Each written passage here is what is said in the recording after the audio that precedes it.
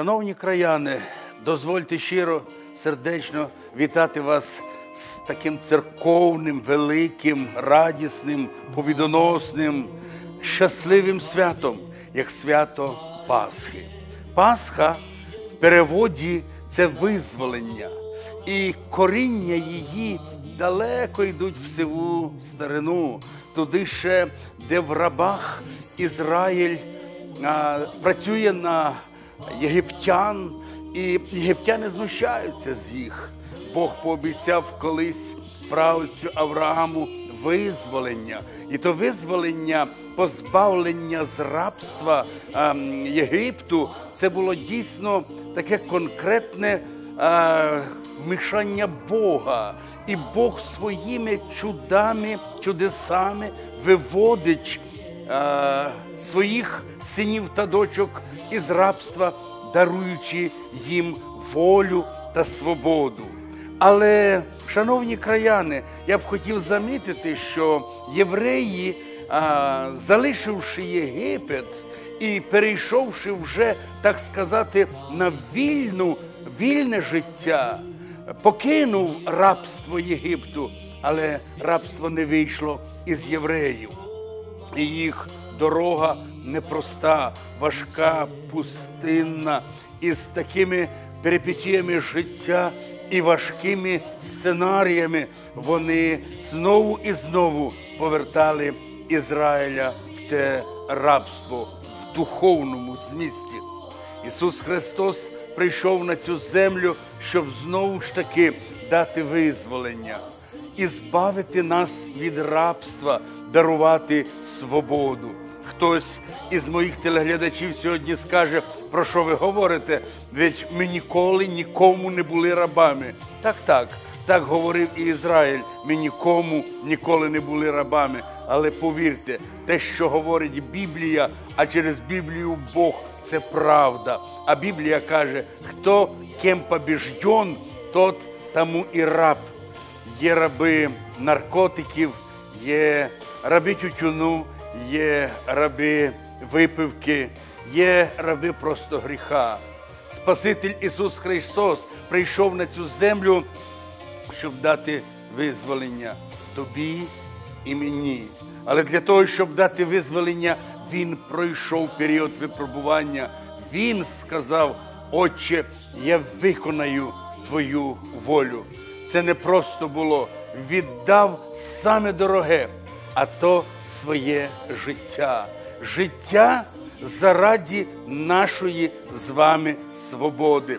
Як важливо бути вільним, як важливо мати мир в серці, як важливо просто мирно жити, починаючи з сім'ї, сусідами, селянами чи городянами, а тоді і в всій країні. Як ніколи сьогодні наша країна потребує миру, злагоди, братності та єдності. Пасха. І якщо хтось вважає, що Пасха це тільки кошик з продуктами, що Пасха це пасхальні яйця, що Пасха це е, гарно украшені вікна, таке собі свято, той трошки помиляється. Пасха це свято визволення.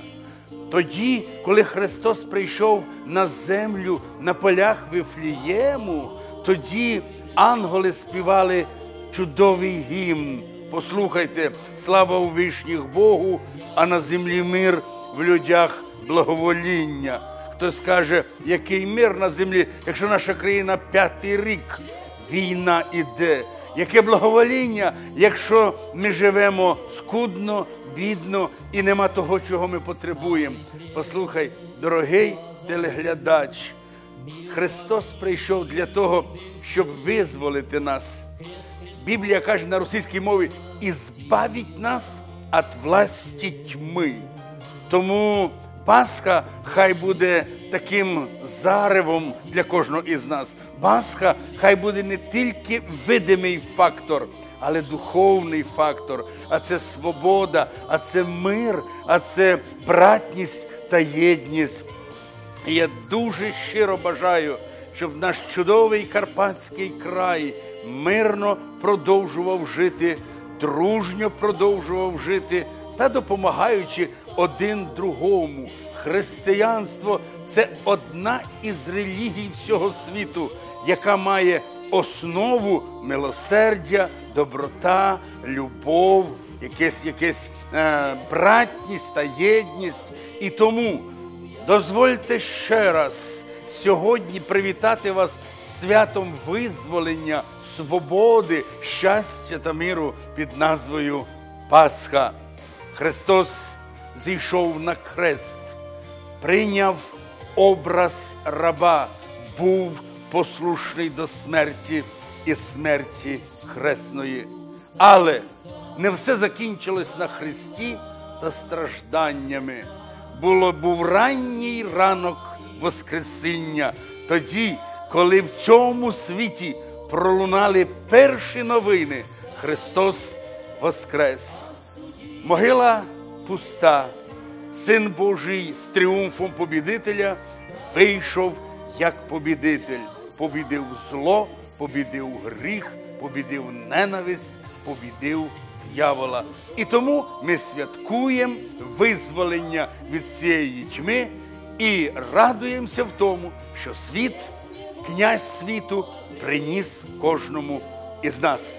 І тому ще раз давайте подивимось на Головський хрест, подивимось в сад Йосифу Аремафейського, де пуста могила. І я з радістю і торжеством заявляю сьогодні Христос Воскрес!